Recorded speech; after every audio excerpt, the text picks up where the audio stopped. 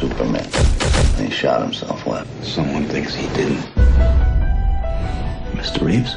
Why don't you tell me about him? A charming man. I'm much too old for you, you know? Your husband is the general manager of MGM. Tell me what you want. You can have it. Where he wound up, it should have been enough.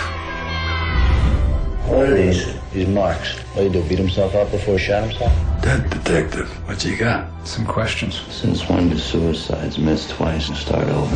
That's unusual. You ever been to a party where a man goes upstairs and blows his head off? No. Then how do you know what's unusual?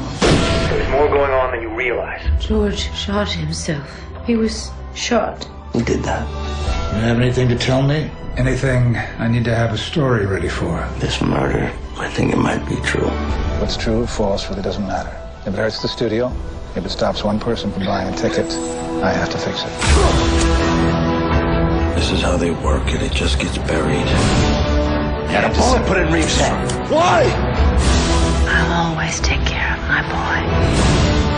You could have gotten me something, but you didn't. Because you liked me when I was in a red suit. But that's not who I am. Who's gonna wipe the blood off your hands? I'm in the picture business.